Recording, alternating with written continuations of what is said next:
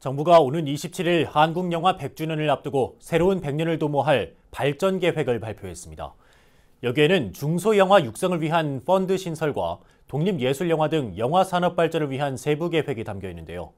최근 주목을 받고 있는 불교 영화나 관련 분야의 발전도 기대해 볼 수 있게 됐습니다. 박성용 기자가 취재했습니다. 오는 10월 27일은 한국 최초의 영화 의리적 구토가 서울 단성사에서 상영된 지 100주년을 맞는 한국 영화의 날입니다.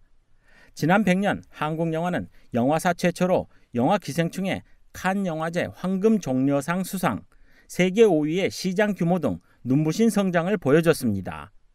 그러나 성장 동력을 지속하기에는 앞에 놓인 과제가 만만치 않습니다.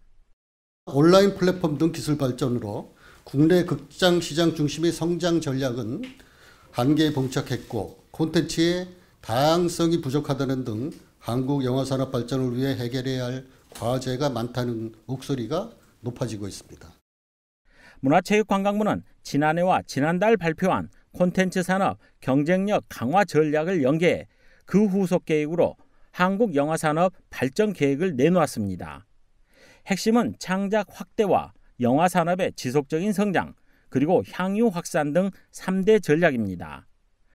창작자를 중심으로 새롭고 다양한 한국 영화가 많이 만들어질 수 있도록 중소 영화를 지원하고 창작자 고립 보호에 힘쓰겠습니다. 중소 영화의 창작이 확대될 수 있도록 영화 기금의 기반의 정책 투자를 확대하겠습니다. 약자인 중소 제작사를 위해 펀드를 신설하고 지적 재산권을 보장하거나 독립 예술 영화를 위해 유통지원센터를 만들고 온라인 개봉을 지원하는 등 성장 환경을 조성하기로 했습니다. 불공정한 환경 개선과 해외 진출 확대를 위한 지원도 계획에 포함됐습니다. 영화 산업 지속 성장을 위해 공정 상생 환경을 만들고 한국 영화의 해외 진출 확대와 첨단 기술력 강화를 돕겠습니다.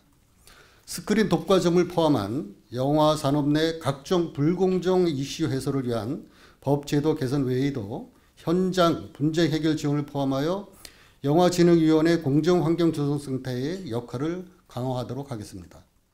또 한국 영화 주요 수출 시장인 아시아권과의 교류 협력 사업이나 온라인 상영관 통합 전산망 구축 등 해외나 온라인 시장에 부합하는 여건도 조성할 계획입니다. 한편으로 첨단 기술 발전에 맞춘 제작 지원이나 인력 양성, 소비자들의 향유 확산에도 힘을 쏟기로 했습니다. 한국 영화 산업의 새로운 100년 도약을 담은 발전 계획. 최근 불교 소재 영화들이 잇따라 인기몰이를 한 상황에서 불교 관련 영화나 파생 분야의 활성화 역시 기대되고 또 준비할 기회가 다가왔습니다. BBS 뉴스 박성영입니다.